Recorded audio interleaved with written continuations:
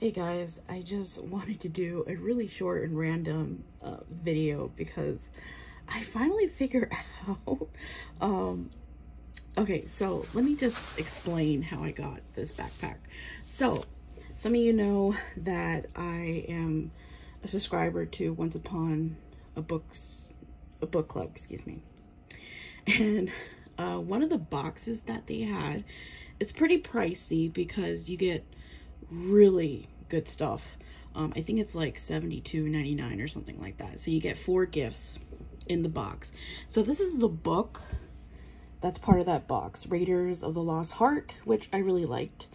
So um, this is a steamy book, just to give you a heads up. So um, yeah. So one of the gifts that was part of this box is this really pretty purple backpack. Um, I know I'm a really bad angle of showing you this whole backpack, but I mean, really, there's only one part of the backpack I really want to talk about and show. Um, one of the features that I do like about this backpack is um, this, what do you call it, outlet? I don't know what you call it. Um, you can put your headphones and your charger, and if I open the bag, inside, it has these uh, other wires that you can connect, whether it's to your phone or uh, your charging, who knows what. So that's one of the cool features of this backpack. Now, this is the part of the backpack I really want to talk about. it took me, so I finished the book like early April and I was trying to figure this part out. I'm like, I've never seen this on a backpack, okay? And I'm like, what exactly are you walking? I mean, and I'm like, you know what? Let me just figure this out later. So I finally decided to really look at this backpack.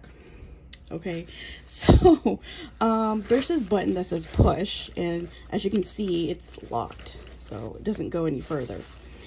Um, so for demonstration purposes, I'm going to put it on zero because I set it on zero.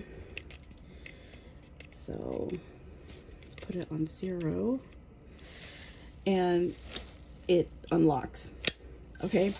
Now, the first thing I figured out was how to put in a code. So you put it on the number that unlocks it and then you uh, hold your thumb on the press button and then you pick, let's say, let's just go with all twos. So I'm gonna make it 222 and then I unlock it. And then it's it's gonna keep it unlocked. It's on the correct number but if you change the numbers up it's locked. So that's the first thing I figured out. Okay so I realized this is the coolest feature I've ever seen on a backpack. So there's two zippers right to open and close the backpack. And there's two locks. So I'm like okay I think I know what this is for. So let's put it on 222. Okay. And then you put, sorry about the shakiness. Okay, so you put in, hold on, I think I, wait, is it? Okay, wait, hold on, hold on, hold on. Hold on. Okay, so that wasn't the correct way to do it, so let me unlock it. So you leave it unlock, right? And then you click in the zipper. And then you do the other one.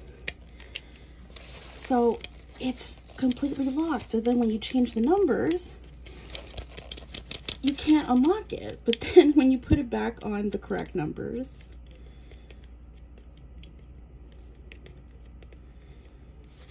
it unlocks. Look, like coolest feature of a backpack?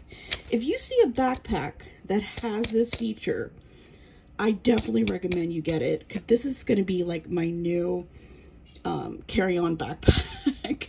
um, what I also love about it, it has book lover right there. But to me, this is the best feature I've ever seen on a backpack.